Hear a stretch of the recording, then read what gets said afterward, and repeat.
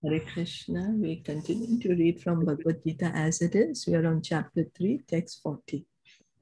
Indriyani manobuddhi asyadhishtanam uchyate eter vimoha yati esha jnana nam avritya dehinam. Translation and purport by His Divine Grace, A.C. Bhaktivedanta Swami Srila Prabhupada. The senses, the mind, and the intelligence are the sitting place, places of this lust. Through them, lust covers the real knowledge of the living entity and bewilders him. So we have been hearing Arjuna ask Krishna, why are we impelled to do sinful activities even if we don't want to? The, the living entity is pure consciousness.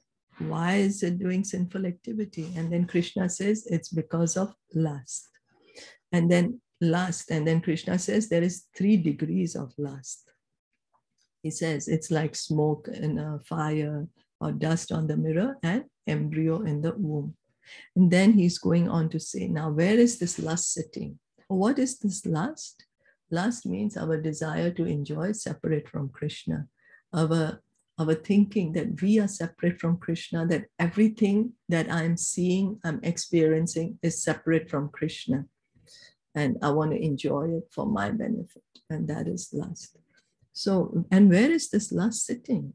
Krishna is telling him to Arjuna that is sitting in the senses, means our eyes, ears, nose, uh, tongue, mouth, uh-huh. and then all these are our knowledge uh, our knowledge acquiring then we have working senses hands legs speech uh, anus genitals. So so we can see that the lust is everywhere. Then it's also sitting in our mind. Mind which is the seat of our desires. The mind the, the lust is there. And it's also in our intelligence. So our intelligence is also covered by lust. And then with this lust, our real knowledge is covered. The real knowledge of the living entity is covered by this. Uh, and then, because our real uh, knowledge is covered, what happens? We get bewildered. We just heard in Bhagavatam how we are covered by the five kinds of avidya, ignorance. Hmm? Ignorance is avidya. And so our real knowledge is covering is covered by this uh, lust. And because our real knowledge is covered, then we are confused. We don't know what to do. What am I doing? Who am I? What am I doing? Where am I going? So the enemy has captured, reading from purport of Srila Prabhupada, the enemy has captured different strategic positions in the body of the conditioned soul. And therefore, Lord Krishna is giving hints of those places. So that one who wants to conquer the enemy may know where he can be found. Krishna is giving this information to us so that if we are interested to conquer our lust, we can try to uh, understand more about it. Where is this lust? Mind is the center of all the activities of the senses. And thus, when we hear about sense objects, the mind generally becomes a reservoir of all ideas of sense gratification. And as a result, the mind and the senses become the repositories of lust. So, you know, we might just hear, hey, you know what? Um, you know, that restaurant has this amazing, amazing pasta. And so then we will get that desire. I want to enjoy it. So the tongue will want to taste it. The mind will say, you know, you're going to feel really, really, in your, the mind will start saying, oh, you're going to enjoy so much when you're going to eat it, you know, like that. That's how. Now we might say, why eating is a lust? You know, how can you call eating lust? It's a, it's a requirement of the body. What do you mean? Are you are you a fanatic? Uh, but then we are saying because we want to enjoy separate from Krishna. Now, the same pasta, we hear about it, we go there, we do Sri Vishnu, Sri Vishnu, Sri Vishnu, offer it to Krishna.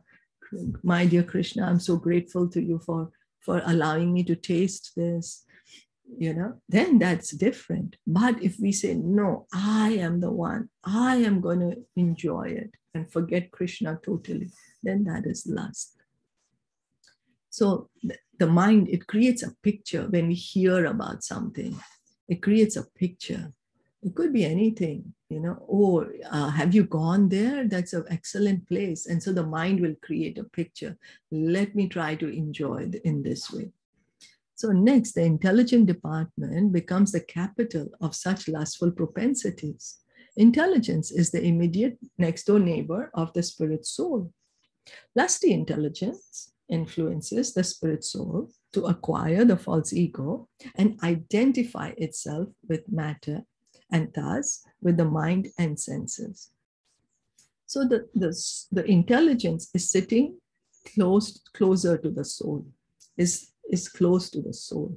But what has happened is our intelligence has become covered right now. It's, it's full of uh, lust, right? We just heard Krishna says it's become lusty now. Now, instead of the soul influencing the intelligence, because the soul is superior, the soul is the one that is superior, has the consciousness. But because of this lust, the intelligence is now controlling the soul. The mind is controlling the soul. The senses are controlling the soul. And that is the false ego, influences the spirit soul to acquire the false ego and identify itself with matter. So then the intelligence, uh, you know, encourages us. Yes, yes, you can enjoy separate from Krishna in this way. It, it helps us to further uh, further forget ourselves that I am connected to Krishna.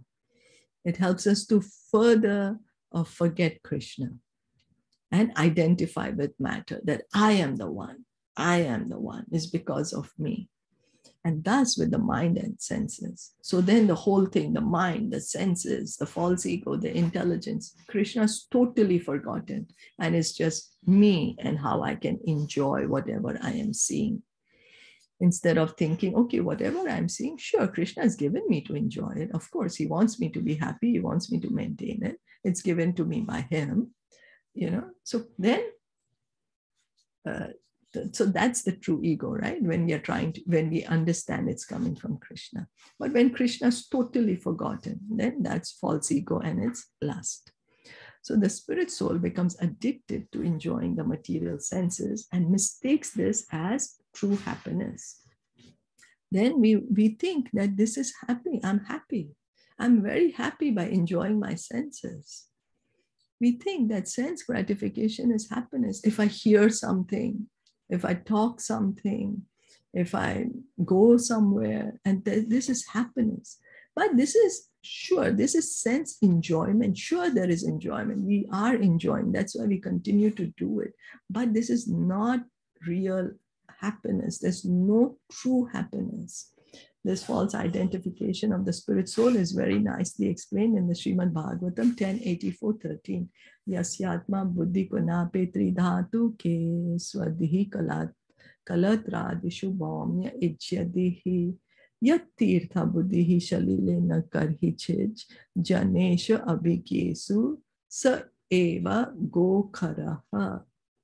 A human being who identifies this body made of three elements with his self, who considers the byproducts of the body to be his kinsmen, who considers the land of birth worshipable, and who goes to the place of pilgrimage simply to take a bath rather than meet men of transcendental knowledge. Uh, knowledge there is to be considered like an ass or a cow. So Bhagavatam, Bhagavatam, oh, Bhagavatam is calling me an ass or a cow. Why is Bhagavatam using such language? How can Bhagavatam is supposed to be pure words of love and Bhagavatam is calling me an ass or a cow? Why? Because Bhagavatam wants to shake me up. Bhagavatam wants to shake me up and say, hey, sleeping soul, wake up. You are not this body, you are the soul. You're the soul. You're just thinking you're the body. You're thinking whatever is connected to the body is yours. You're thinking, oh, because I'm born in this country, this country belongs to me. And because I am uh, born in this community, this or this society. This society belongs to me, and then we start um, creating such boundaries and create more hassle for ourselves. You know, we create these boundaries, we create these distinctions among each other, which takes us away from the true knowledge that we are eternal spirit souls. We are eternal spirit souls, part and parcel of the Supreme Lord. And so the proposition is that we can revive our true consciousness by hearing and chanting. The more we hear and chant, the more we will revive our true consciousness, which is to give love and to receive love, which is the need of the soul. Is that okay? And so then we will see that this lust is going to be transformed into love. When we bring Krishna in the picture, the lust that is there in the mind, the senses, and intelligence, then it's going to be uh, become love. So if we bring Krishna in our mind, and we bring Krishna in our senses, and we bring Krishna in our intelligence, then that lust will be covered, converted into love. Is that okay? Yeah, this is so beautiful. I think what everybody says right that whenever, every time we read Bhagavad Gita, we find a new beautiful meaning. Yes. This is really, really true. How we are feeling it. Yes, it's true. Because spiritual knowledge is unlimited. There is no limit to spirit to the spiritual knowledge. And ever fresh. It's ever and new. Yes, we get newer and newer realizations. Each time I read it, mm. oh my God, I never read this before, you know. newer and newer realizations. Ever fresh. Yes. हाँ आज तीनों classes में अच्छा आया ये भी बहुत अच्छे से क्लियर किया आई थिंक वो पहले हमें सिर्फ एप्पल दिखती थी अभी थोड़ा सा रेड कलर दिख रहा है मतलब रेड कलर दिखता था अभी ऐसे दिख रहा है कि एप्पल कट के अंदर से वाइट है जूसी सिर्फ़ अभी तक एप्पल ही दिखती थी रेड एप्पल बस कि भगवत गीता है बस रेड एप्पल हाँ Yeah, so that's why no, the more we dive into hmm. hearing and chanting, the more we dive deeper into hearing and chanting, the more we will experience the bliss and the happiness. Yes, and I think chanting is also helping. Chanting and the association. Oh, I yes. think yes, that is very very important. I think chanting Um, and associating. foundation, Prabhupada would say 70% is depending on our chanting. It's our foundation. You know, so when we तो ये गीता ऐसे ही पढ़ा भी तो है कितने बार पर इतने अच्छे से नहीं समझ में आता था हाँ, है ना हाँ, हम्म, हाँ हमने ही साथ में ही पढ़ा है कितने बार हाँ, तीसरी बार पढ़ रहे हम ये हाँ तीसरी बार आज बहुत क्लियर हुआ ये भी। और तभी तो बोलते हैं ना मनी शत्रु मनी मित्र। हम्म। सारा मन पर डिपेंड है ना हम फिजूल दोष देते हैं कि वो शत्रु है। हम नहीं समझ रहे हैं ना।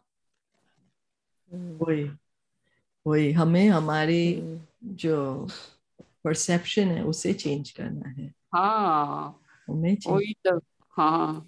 क्योंकि हम गलत सोच रहे हैं हम गलत देख रहे हैं तो हम हाँ गलत हमें है। हाँ वो बुद्धि लगाते ना अपनी बुद्धि लगाते ना मेन बात। या और उसको उसका ये रीजन भी है कि पूरा समय हम ये सोसाइटी में रहते सब देखते करते हैं तो हमारी बुद्धि भी फिर थोड़ी थोड़ी वैसी होती जाती ना उनके साथ में।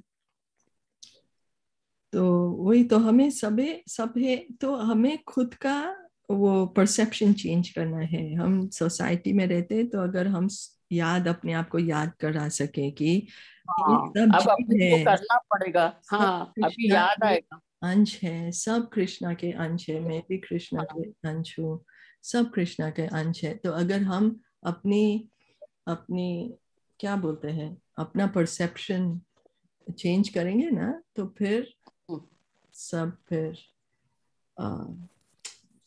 वी विल बी पीसफुल हमें और uh, शांति मिलेगी क्योंकि वो करेक्ट परसेप्शन है ना कि हम सब सब तो भगवान के अंश है। हम भेदभाव लगाते हैं हाँ। क्योंकि हम अपने आप को अलग समझते हैं।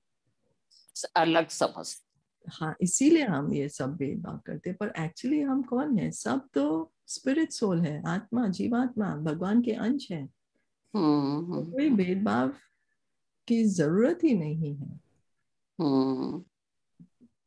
यू राइट आई थिंक मैंने एक चीज़ देखी है कि आप जब भी इंटेंशन से काम करते हो ना लाइक like किसी के भी लिए if your intention is right the result will always be good if your intention is right but if your intention is wrong then things will mess up in your life yes no doubt hmm your intention has to be very आप अपना try करो hundred percent सच्चे मन से जो आप करना चाह रहे हो हाँ। लेकिन अगर आप गलत इंटेंशन से चीज़ चालू करोगे तो फिर परमात्मा को पता है ना then again हाँ. सही इंटेंशन और गलत इंटेंशन क्या है फिर like you are keeping krishna in mind and doing it Yeah. Hey, krishna i'm doing i'm trying my best rest is in your hand i don't yeah and that is Krishna consciousness. Yes. Yeah. That is correct intention. Yeah सही है. कि आप कृष्णा को बोल के कर रहे हो कि Krishna I am I am offering the result to you and I am trying my best please rest it's on your lotus feet whatever you do hmm, फिर हम देखेंगे कि हमारी सबके साथ रिलेशनशिप्स भी अच्छे अच्छे जाएँगे। हमारे खुद का मन शांत होगा मन पीसफुल होगा। हम्म। क्योंकि फिर हम सबको भगवान का अंश देख रहे हैं किसको ऊँचा किसको नीचा नहीं देख रहे हैं। हम्म। यू नो जब हम ऊँचा नीचा देखते हैं फिर प्रॉब्लम आती है। ऊँचा नीचा कोई नहीं है। हाँ ये बहुत बहुत बड़ी बात है ये बहुत हम्म। बड़ी बात है। हाँ इस इस दुनिया में यदि ये आ जाए ना तो और क्या? हाँ ये संभव संभव समदृष्टि हम्म, तो वो- वो खाली हम बॉडी के बॉडी के एंगल से देखते हैं तो ये सब तो फिर अलग दिखता है सही है।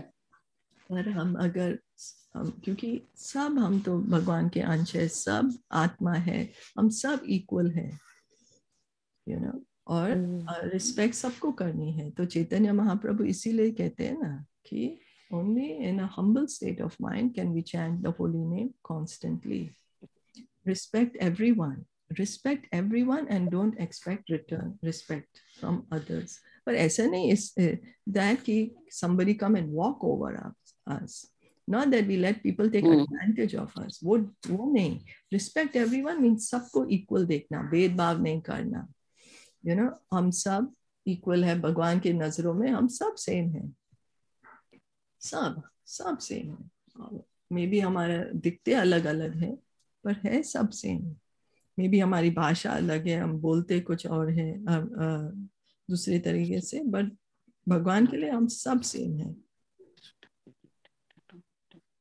So we need to see everyone also. It's difficult, not easy, not easy, but we have to try. We have to begin somewhere. किधर तो शुरुआत करनी है। हम्म हम्म। इजी नहीं है पर भूल जाते हैं। हाँ, रिमाइंड बहुत बहुत फिर भूल जाते हैं फिर बहुत- करना है कि दस जो शुरुआत तो करनी ही है। हम्म thank you so much Hare thank you thank Hare you so much thank you Hare Krishna. जय गौर प्रेमानंद हरि बोल हरे कृष्ण। हरे बोल हरे बोल।